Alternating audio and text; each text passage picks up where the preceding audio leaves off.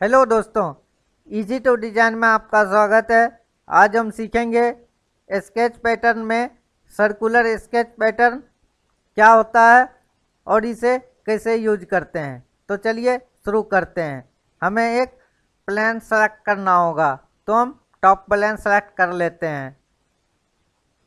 यहाँ पर circular sketch pattern command का आइकन दिया गया है। उसे जानने के लिए लीनियर स्केच पैटर्न के बगल में एक छोटा सा आइकन है। इस पर क्लिक करें। तो देखिए सर्कुलर स्केच पैटर्न इस पर क्लिक करें। तब आपका सर्कुलर पैटर्न एक्टिव हो गया।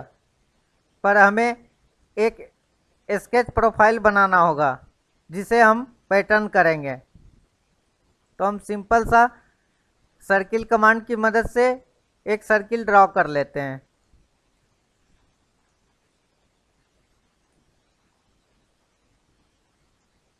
Circular sketch pattern circular sketch pattern में क्या होता है कि आपको एक सेंटर पॉइंट सेलेक्ट करना होता है, जिसके अराउंड पैटर्न होता है। यहाँ पर हम ओरिजिन पॉइंट को एज ए सेंटर पॉइंट मान लेते हैं और इसके अराउंड हम पैटर्न करेंगे। तो पैरामीटर वाले बॉक्स में क्लिक करें और इस ओरिजिन पॉइंट को सेलेक्ट करें। अब नीचे की तरफ़ आइए और इंटिटी टू पैटर्न वाले बॉक्स में क्लिक करें और स्केच को सेलेक्ट कीजिए। यहाँ पे एक्स ज़ीरो ज़ीरो है, क्योंकि हमने ओरिजिन पॉइंट लिया है और वाई भी ज़ीरो ज़ीरो है। अब आता है एंगल इसमें दो एंगल होता है। पहला है ए वन और दूसरा है ए टू पहले हम ए वन के बारे में जानते हैं। ए वन यह दर्शाता है कि हम जो पैटर्न कर रहे हैं, वो पूरा 360 डिग्री पे कर रहे हैं। और ए टू ये दर्शाता है कि जो स्केच बना हुआ है, वो 270 डिग्री पे पैटर्न हो रहा है। ये आप देख पा रहे होंगे, ये डायरेक्शन अगर हम इसे 180 डिग्री कर देंगे। तो देखिए, ये ये साइड हो गया। अगर हम इसे ज़ीरो डिग्री कर देंगे तो देखिए, ये ये साइड हो गया। तो हमें नीचे की साइड चाहिए। तो हमें 270 डिग्री एंटर करना होगा। यहाँ पे इक्वल स्पेसिंग, जो हमारा पैटर्न हो रहा है, वो इक्वल स्पेस में पैटर्न होगा। अगर हम इसे अनटिक कर देंगे तो ये इक्वल नहीं रहेगा। तो हम इक्वल ही रखेंगे तो इस बॉक्स में क्लिक करेंगे। दूसरा डायमेंशन रेडियस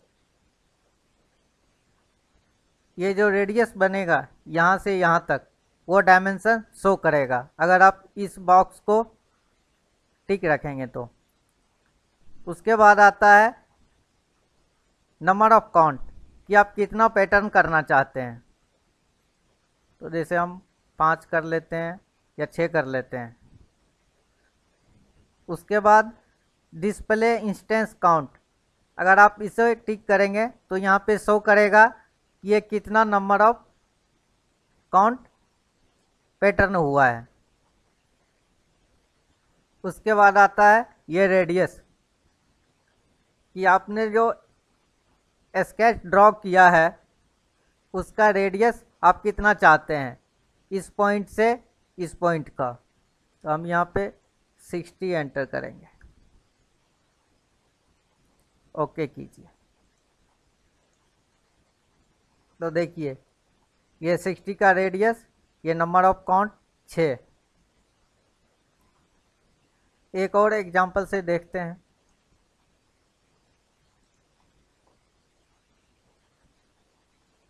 एक सर्किल ड्रॉ कीजिए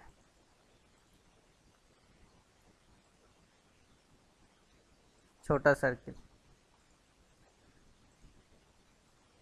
circular sketch pattern select कीजिए। सेंटर पॉइंट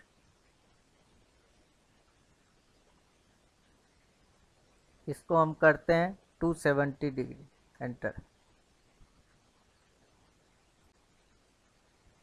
सेलेक्ट कीजिए स्केच।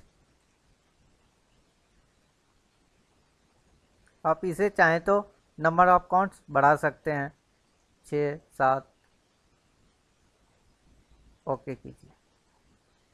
ये देखिए यह पैटर्न तो हुआ, पर ये 270 डिग्री तक ही हुआ, क्योंकि हमने 360 नहीं चूज़ किया था। आप चाहें तो इसे रिवर्स भी कर सकते हैं। तो देखिए दूसरा।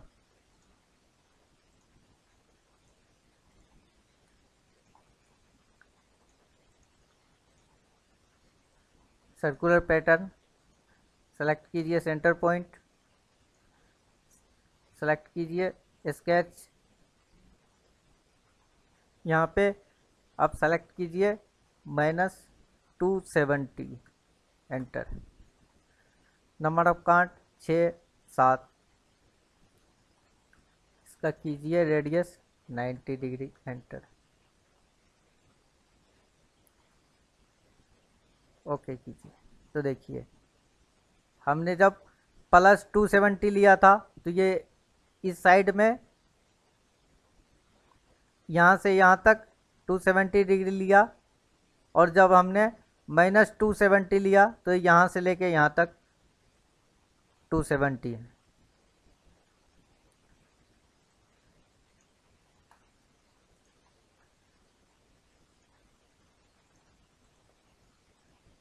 एक छोटा सा circle circular sketch pattern select कीजिए सेंटर पॉइंट